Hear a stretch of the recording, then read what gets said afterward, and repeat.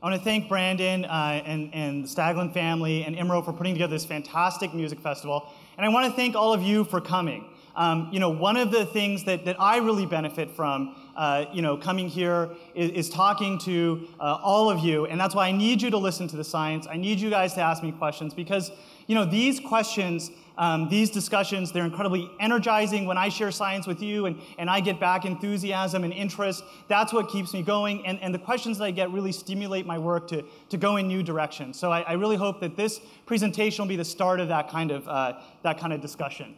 So I'm going to tell you about two projects today um, and, and, build up to the one that uh, Dr. Hyman just told you about.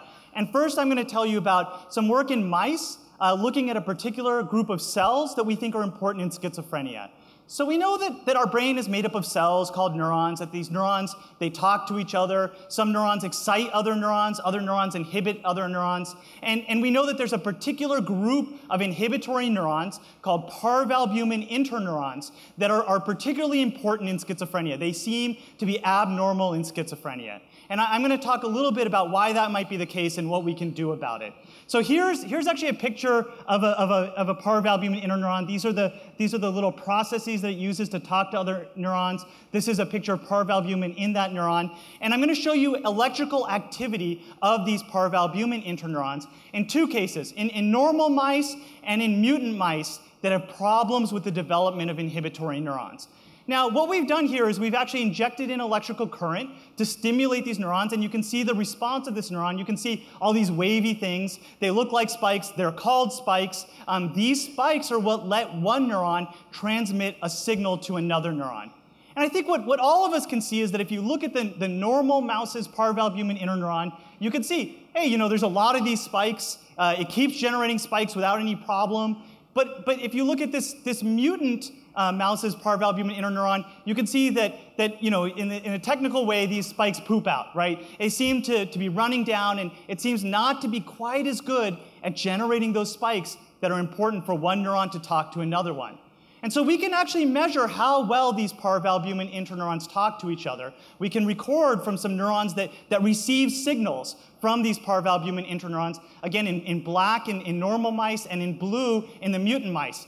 And again, you can see that, that these signals are way weaker. The parvalbumin interneurons are not able to talk to other neurons nearly as well in these mutant mice. And that, that sort of looks like what we see in schizophrenia, where we know these parvalbumin interneurons are broken. Okay? Well, so what? What's the big deal? Well, we know that these parvalbumin interneurons do some really important things in the brain. In particular, they generate brain waves. Now, you guys all know about brainwaves. That's the name of the blog that, that Brandon uh, does. And brainwaves, of course, are electrical activity in, in, the brain that you can actually see outside of the brain. You can put a, an electrode on your scalp and record brainwaves. And some of you may have heard brainwaves are different if you're awake or asleep, or if you're concentrating, or if you're relaxed.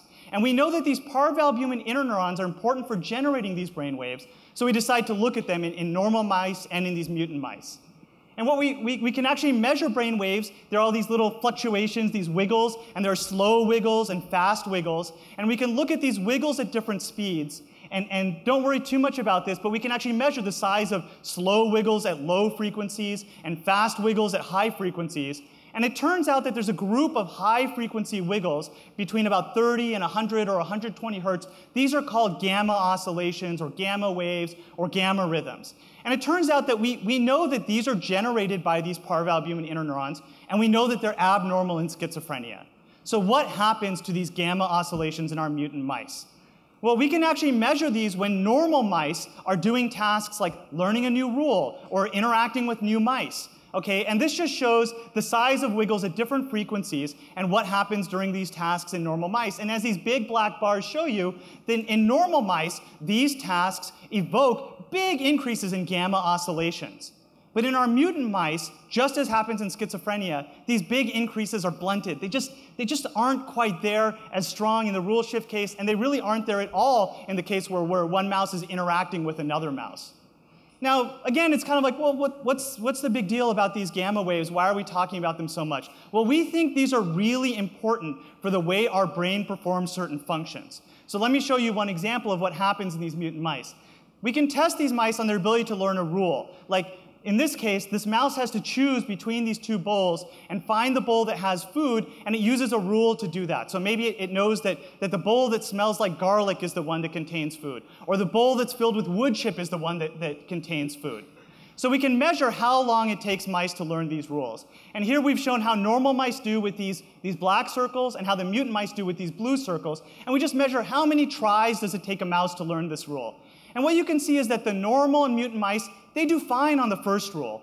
But on the second rule, when the rule changes from paying attention to garlic to paying attention to wood chip, these mutant mice have real troubles, okay? They have trouble paying attention to something new. They have trouble being flexible. And this is the exact same kind of thing that we see in a lot of different forms of mental illness, autism, and, and schizophrenia, okay?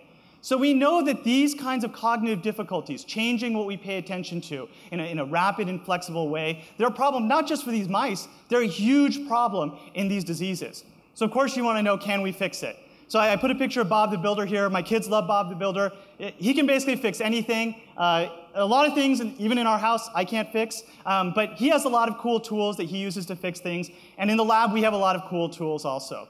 And in particular, we have tools that actually allow us to turn certain neurons in the brain on or off with light. Okay, and right now we only use these in, in mice, but we can use them to turn on the inhibitory cells that aren't working as well. We can turn on these parvalbumin interneurons, and we can turn them on at, at a specific frequency that matches that of the normal gamma oscillations. And we can ask, well, what happens if we do that? So we can basically test these mice on their ability to learn a new rule in the absence of any light, and then again, when they get this light stimulation and we, and we restore these gamma frequency patterns of activity, and then again, following that, what did they learn from doing this task? And we look at two different groups. You know, we always do this in science. We have a control group, that's shown in white, and those are just mutant mice that, that don't get effective light stimulation. And then in yellow, I show what happens in the mutant mice that do get effective light stimulation. And what you find is that the normal mice on day one, on day two, on day three, they keep having trouble with this task. They always take many, many trials to learn this rule change. But the, the mice that get the light stimulation at gamma frequency, they have a hard time on day one, but once we turn on the lights on day two, it's like the lights went on for them. All of a sudden, they learn this rule change. And what's amazing is if you just leave them alone and you come back the next day, you don't do anything more to them, and you just test them again, they again learn this rule change really quickly at the same rate as normal mice. In fact, you can test them a week later and you can test them on a different rule change, and they still, it's like they had a eureka moment. They get this task, they understand how it works, they can learn it quickly. So, what's the moral of this story? Well, the moral of this story is there are cells. These cells generate patterns of activity in the brain, and those patterns of activity are important for both normal and abnormal behavior. And yes, we, we can fix abnormal behaviors, but we have to understand the underlying patterns of normal and abnormal activity to do so. And what I didn't tell you is that if we tried to stimulate these neurons, if we flashed the light at different frequencies, right, not at gamma frequencies, so too slow or too fast, it didn't work. We actually had to use the right pattern of activity in order to essentially fix these gamma oscillations and get these mice learning again, okay? So where are we going from here? Well, obviously we want to go um, and, and, look at humans. And so this is the project that Dr. Hyman talked about. And maybe in the back, if you can just click on this movie so that it starts playing. So this is a collaboration that's funded by the President's Brain Initiative. And what you're looking at here are patterns of activity in the human brain. So these were recorded by a neurosurgeon at UCSF, Eddie Chang, and he's looking at, at patients with epilepsy before they have surgery. And as you can imagine, many of these patients also have depression, anxiety, chronic pain, you name it. And what you're looking at on, on the vertical axis here is different frequencies, and, and then along these other axes, different locations in the brain. And so you can see there are these blobs of activity that seem to appear and disappear. And what that tells you is, hey, activity in the brain isn't random. It's not noisy. You're not looking at static. You're seeing blobs that appear that span across multiple locations in the brain and multiple frequencies. So there are patterns of activity in the human brain, and our goal is to develop sophisticated new mathematical ways to see the big picture of these patterns. So we can say, hey, when, when someone was feeling depressed or anxious, what was the pattern of activity in the brain? Or when they were feeling hopeful and confident, what was the pattern of activity in the brain?